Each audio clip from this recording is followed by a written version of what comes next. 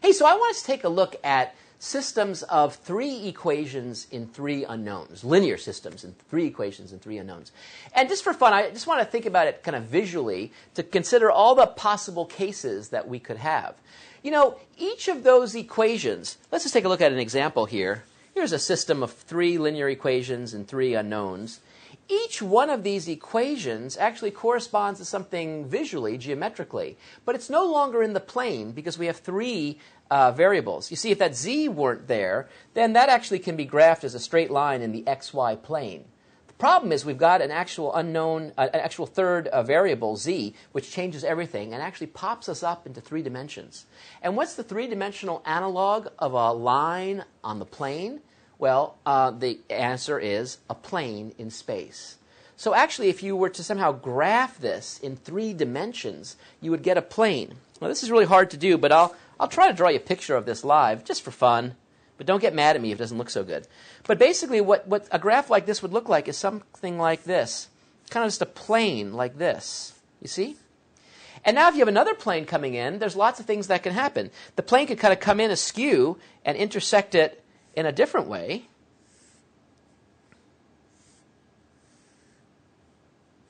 You see how that plane kind of cuts it? And it kind of cuts it along a line. And then if you have a third one coming in, maybe chopping it this way, you see what would happen. It would take that line and hit that line at one point, somehow. I wonder how this looks to you. Can you even see what that looks like? Whoop, whoop, whoop, whoop. And those three planes come together and meet in exactly one point. When that happens, then we'll have one solution. But there are lots of other things that could happen as well. You can imagine, for example, if two of those planes were actually to be parallel planes, then even if you hit it with a third plane, there'll be not one point that actually is in the intersection of all three of those planes, because two of them, in fact, are parallel. Or you could actually have a situation where, in fact, the two planes meet like this, and so they, they meet along that line, and the third plane actually meets along that same exact line. Then you have, in fact, a line of solutions, and you have infinitely many solutions. So, just as in other examples we've seen, with a system of three equations and three unknowns, we could have one solution, we could have infinitely many solutions, or we could have no solutions. So it's kind of cool that you can kind of see all those differences, uh, and this is a visualization of what that looks like. Anyway, let's try to solve this and, and, and see what this looks like, and see if we can make some head or tail out of it. So here we go. It's, it's our usual fun stuff. We're going to now uh, use various methods to write an equivalent system and try to get it into a triangular form. So what I'm going to do first off, just because I'm looking at this, in fact, I'm going to be totally honest with you.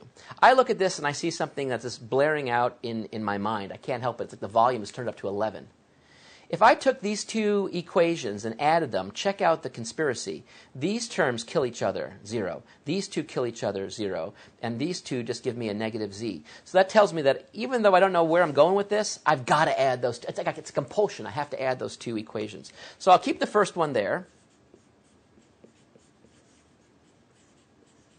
Write the whole thing out. And now I'm going to replace the second one by the sum of these two. And so if I add these two together, I get 0. I'm not going to write anything there. Add these two together, I get 0. I'm not going to write anything there. Add these two together, I get negative z.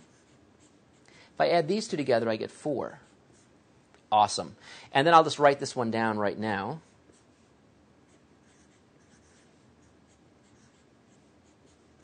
Well, that's amazing because look what I've done. I've already gotten something just with z alone. So let me actually now um, switch the order of these things. And so I'll write this equation third and this equation second. So uh, I'm going to write this. Oh, in fact, you know what? I'm going to write this. I'm going to move this way up to the top since I already seem to have done that. To the top. Then I'll write this one. You can write them in any order you want as I'm proving live. And then I'll write that last one, which I really like. Okay. And now what do I do? Well, I notice again there's an amazing conspiracy, and I can't help it. I can't help it. I'm sorry. And I want you to not be able to help it either. But check it out. These two equations look very similar. In fact, if I were to multiply this equation by negative 2 and add it to this equation, check out what would happen. I'd get a lot of cancellation. So let's try to do that right now. I'm going to keep the first equation right where it is.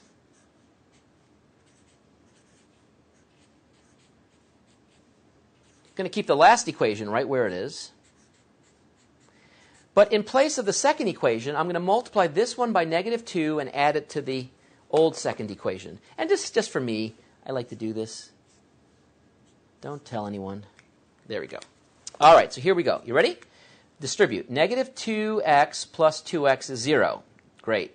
Negative times a negative is a positive. positive, positive 4y. Positive 4y plus minus 4y is 0 as well. This is looking good. You see the conspiracy? And then here I see uh, negative 2x plus, I'm sorry, negative 2z plus 2z is equal to 0. Wow. So everything is 0 on this side. And then what do I have on this side? I have negative 2 times uh, neg- times 2, which is negative 4. And negative 4 plus negative 1 is negative 5. And so that is an equivalent system to the first one. Well, now check it out. This one's a little disturbing. Are you disturbed? I hope so. Because if this is an equivalent system to that, this tells me that, okay, yeah, z, uh, you know, z is going to equal negative 4, but who cares? Look at this one. This says that 0 has to equal negative 5. Well, we know 0 doesn't equal negative 5. So, in fact, that's impossible. And what does that mean? It means that there can't be any solutions to the original system. Because we just took the original system and created equivalent uh, systems, which means that every single system has the same solutions, until we got down to something that we can see. This has no solutions which forces no solutions to the original one. So here's an example where, in fact, somehow you have kind of parallel planes. If you think of it visually, the planes are parallel, and therefore, in fact, there's not one or many solutions to this system. Wow, that was kind of a surprise. I, did you know that was coming? I didn't. All right, let's try one more, just for fun. So here's a system I want us to take a look at, see if we can analyze it, and report if there are no solutions, exactly one solution, or lots of solutions. All right, so again, I'm just going to be totally frank with you. I love the first one. I love it. I love it. It's all simple. It equals zero. You can't do better than that in life. So I'm just going to copy that down before I lose it. Because that's just awesome.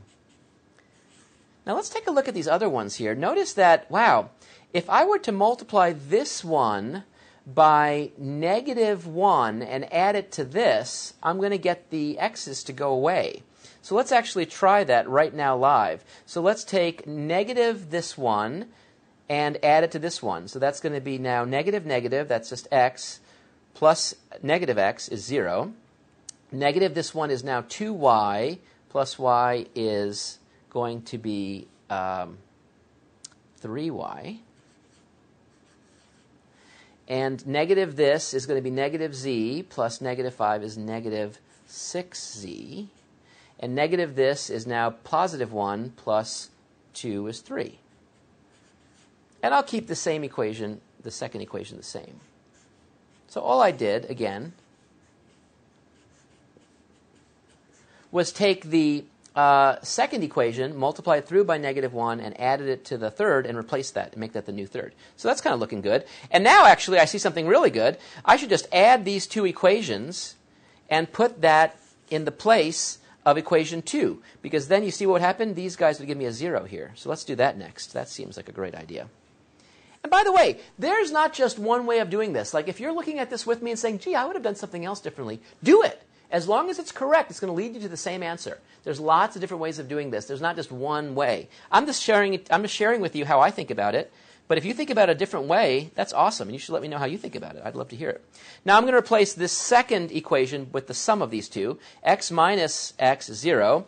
y uh, minus 2y is just negative y. And then uh, z plus z is plus 2z and this plus that is negative 1. I'm going to keep everything else here. Oh, by the way, notice I can do something here. Do you notice that I can multiply everything through, uh, divide everything through by 3? Let me just do that. There's a common uh, factor everywhere of 3. So let's just do that. So then I get a y minus 2z equals uh, 1. And now I look at these things and I notice something really, really cool. What if I were to um, add these two equations and put that in place of equation uh, 3. What would I see? Well, this is really cool. And I like when this happens, actually. It's kind of fun. It's a little moment of excitement. I'm going to keep everything else the same. But if I add these two, check it out. This plus that is 0. This plus that is 0. This plus that is 0. Nice. 0 equals 0. So what does that tell me? What it tells me is that this is now in triangular form, and I still don't know what z equals. And you know why? Because z is a free variable.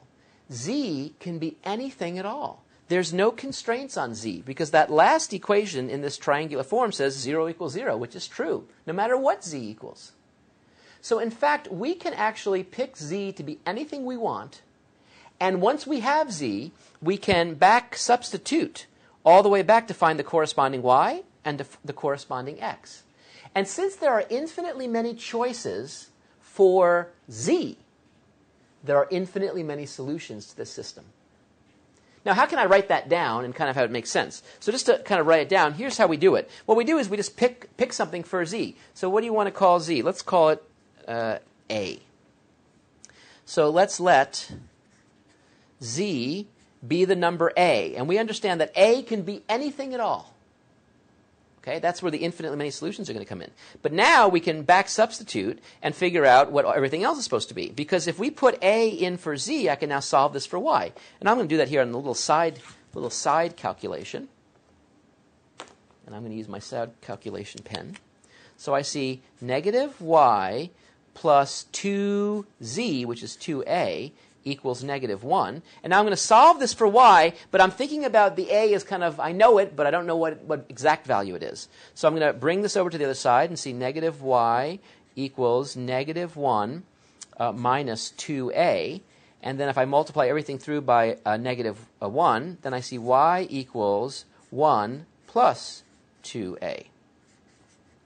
And so now I see that if z equals a, then that's, this is what y has to equal. y has to equal that. So I can write that in. y, now we know, equals 1 plus 2a. Awesome. And how can we find x? There's no problem in finding x because I can just use, for example, this fact and plug in this for z and this for y, and I can figure out what uh, x has to equal in terms of a. So x plus y, which is plus 1 plus 2a, plus z, which is just another a, that has to equal 0. Well, if we simplify that, that's x plus 1 plus 2a, and, and another a is a total of 3 a's, equals 0. And so what does x equal? If I bring that over to the other side, I see it equals uh, negative 1 minus 3a. So that's what x has to equal. So let's write that in. This is awesome. So awesome.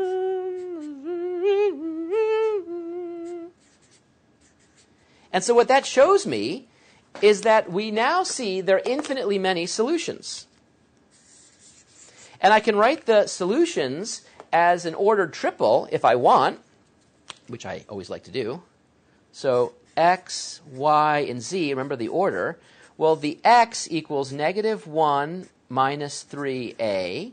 The y is 1 plus 2a. And the z is just a. And so here's an example where we have infinitely many solutions, because this is true no matter what A is. So if you pick different values of A, you'll actually find different solutions. And so, for example, let's just for fun consider different values of A. So let's say we consider A to equal 0. Let's say we consider A, uh, if we consider A to be 0, then what does this give me? If I put in 0 for A, this gives me a negative 1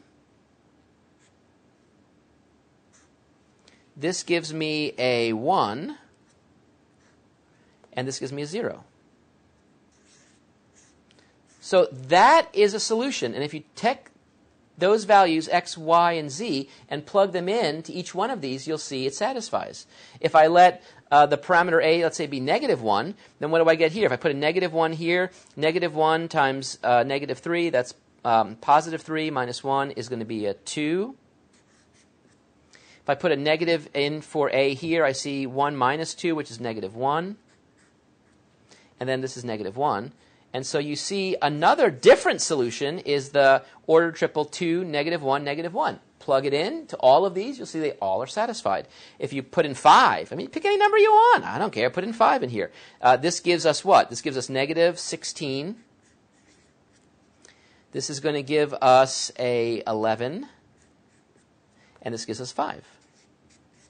Again, plug in x, y, z into all, each of these things, and we're going to see a satisfied uh, system of equations. So, what's the point? The point is here's an example where we see that there's some kind of conspiracy that, that either all the, the planes meet up along one line or all the planes actually meet up along a plane. In this case, actually, they all meet up along a line, it turns out. So they're all meeting along, all three of these equations meet along the same exact line, and that line we're describing in this way. Once you give me the A, I can figure out all the other, all the other values for x, and for y, and of course z is a. So this is what it looks like when you have infinitely many solutions. You, you've got this parameter, or maybe even a couple of parameters that are free, and then once you kind of allow them to be anything, you can figure out everything else. Infinitely many solutions, absolutely cool. Welcome to the world of three by three systems of equations, three variables, lots of things can happen, and if you just work through it systematically and think through it, it all makes sense. Congratulations, I'll see you soon.